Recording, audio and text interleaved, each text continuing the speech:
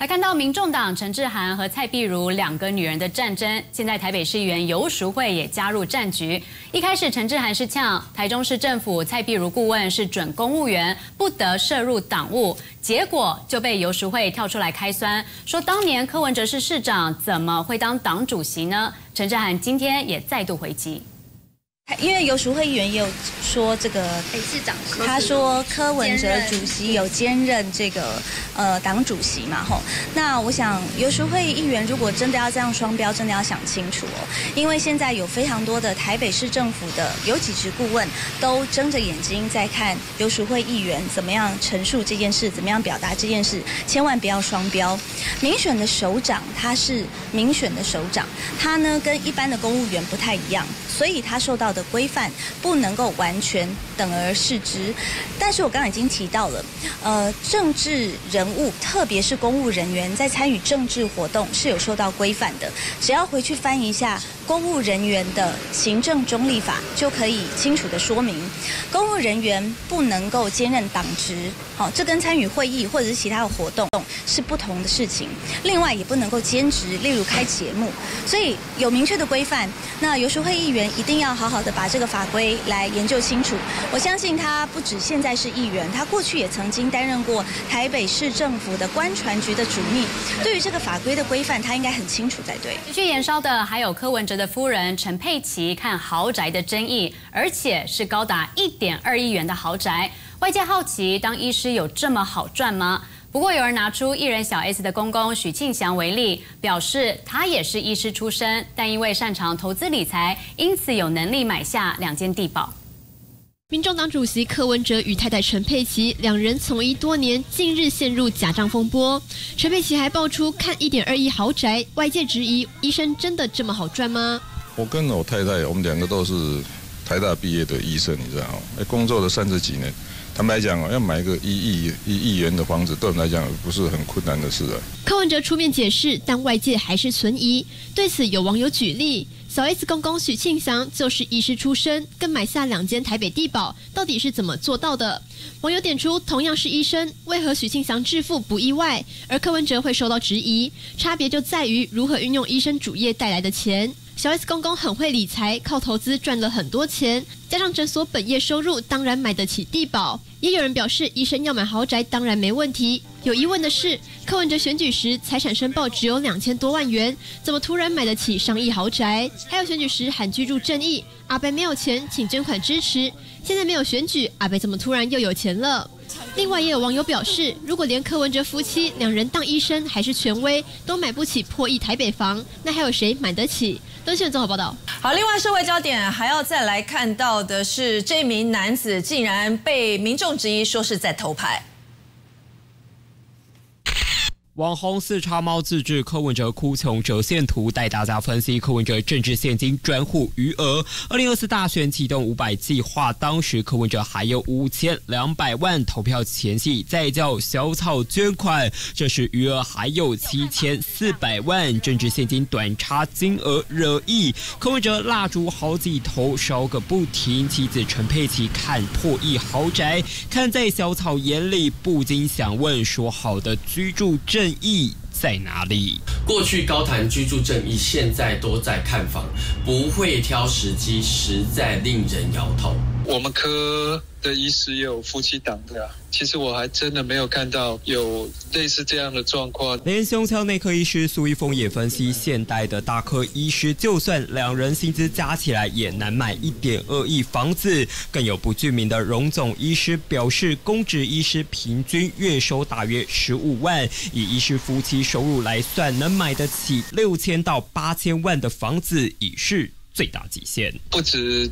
领的薪水而已呢，我们也是要吃要喝要付电费。加上柯文哲又自曝管理费比月退休金还要贵，但从台大郑教授月薪十万计算，保守估计月退也有个五六万。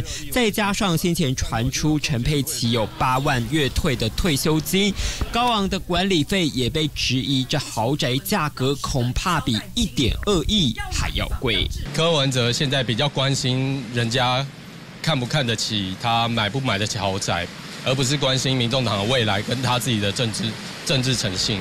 而近期，民众党台北市议员更举办居住正义讲座，谈社宅轮候制。议员们的这番美意，恐怕会被柯主席夫妇的破译豪宅风暴给扫到。台风味，东森新闻郑周星综合报道。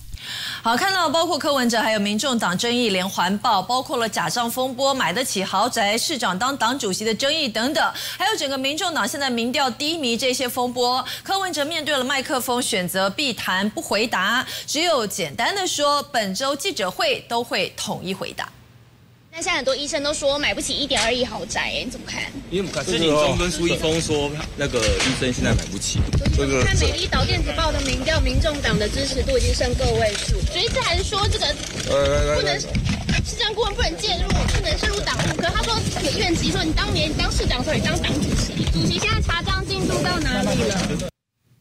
好，就因为柯文哲爆发了假账的争议，过去担任台北市长的施政也被高度的来检视。像是柯文哲任内第一个公办都更社宅大龙新城，就有住户抱怨说，从二零二零年入住到现在，可以说是状况连连，让他从失望到绝望，而且也负担不起修缮费用两百五十五万。对此，有民进党台北市议员陈怡君就痛批说，柯文哲有钱看豪宅，还不如出钱帮忙修房子。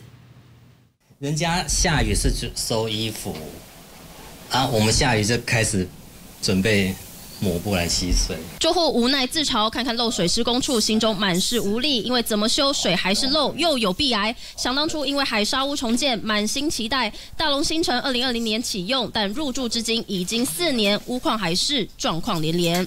前台北市长柯文哲第一个公办都跟社会住宅大楼新城，从二零二零年住户入住至今，就发现整栋大楼常常淹水，这里都要堆放沙包，而且顶楼还有避雷针，但住户就抱怨有装跟没有一样。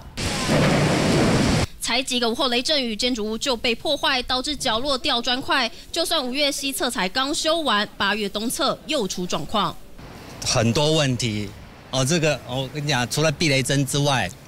除了避雷针之外，还有我们的排水系统。其实我心里在哭了。交屋过了四年，保护期修缮还得大家分担两百五十五万，但这数目可不小啊！市民老百姓怎能负担？做这个都更，其实我们当初我都很感谢他了，可是执行下来的结果却是从失望到绝望，因为当初就是设计不良或施工不良，然后这些痛苦让我们市民来承受。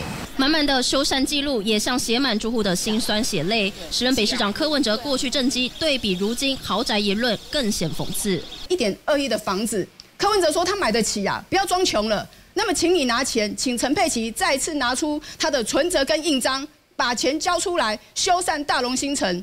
议员喊话要请肇事者出面，现任台北市长蒋万安也积极面对。我想这个部分相关费用。上述也会持续跟管委会来讨论。如今柯文哲假账风波一团乱，这回连过去政绩也被点出问题一箩筐。东森新闻中的好李如台北报道。好，另外插播最新消息来关心，在柯文哲任内的这个金华城案，那么包括了前台北市副市长彭振生，今天还亲自出席了议会的这个金华城调查小组的会议。到底目前详细情况如何？连线给记者刘佳耀告诉我们，佳耀。好，主播各位观众来关心北市议会的最新消息哦。那我们现在人在北市议会这边，你可以看到了，在计划整个调查小组这边，现在媒体呢是没有办法进入的，因为这一次的会议呢非常特别，是改成一个不公开的形式。那可以知道是北市前副市长彭顺生已经在里面了。那我们可以知道是他今天一早哦，其实是个躲媒体的状况，他是从后门进入，而且呢，我们从这个画面中可以看得到他的是笑容满面的一个情形。那是不是呢？他已经要转为这个污点证人，都是今天的一个调查重点。那我们来带你来关心说有关于这一次的一个进展的部分。其实金华城案已经。延烧非常多天了。从八月十号，彭振生呢被讯问三个小时，涉犯这个贪污治罪、条地土地罪嫌重大，因此啊被限制出境出海以及限制住居等等。那在八月二十号之后，事实上北市议会呢曾经希望彭振生呢然后来前来进行相关的说明，不过呢因为他家中有事不可出席，直到八月二十六号的时候，也就是今天议会呢在开始进行调查，那彭振生是亲自出面说明了。那我们来听一下今天。这个这场议会的这个调查小组主要的内容会谈些哪些？听一下游淑慧怎么说。呃，我们当然要厘清这当时政策交办的一些过程啊。就是当时我们知道说，呃，彭振生应该是接到。柯主席的交办，然后开始进行这个案子。那当时的交办是怎么样的一种状况的交办啊？是，然后接着就是彭正在处理这案子的时候，面对委员的一些诸多质疑的时候，那他是怎么处理当时府外委员的这一些质疑的声音啊？还是依然的这样进行下去？那在这个长达两年的过程之中哦，他有没有呃柯市长跟他之间的这个沟通过程是怎么样啊？其实主要就是要厘清这个。呃，应该是说当时市府二把手在这个案子里面的决策或是执行的角色，就是他扮演的是决策还是执行的角色？对。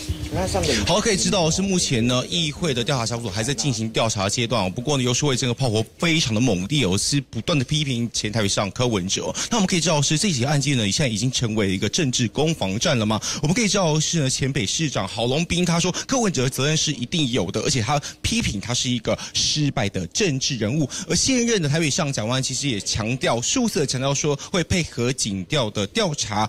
不过呢，有一个重要的关键就是金华城这个案子里面，那柯文哲也再三的重申说，公展后没有牵涉。但北市议员这个游说会就直接开枪了，柯文哲根本在说谎，因为在两次的一个会议当中里面，他都柯文哲亲自的才是要尽速办理，因此 IP 是选择性的失忆。那我们可以知道是呢，今天蓝绿的焦点呢都会在这场会。会议之外，还有另外一个钟小平招嫂也爆料说，柯文哲在二零一四年的时候收三千万的一个政治现金，而且是没有开这个收据的。到底有没有这回事呢？东西我会持续为您关注跟掌握。以上是目前掌握的最消息，将时间镜头交给国内主播。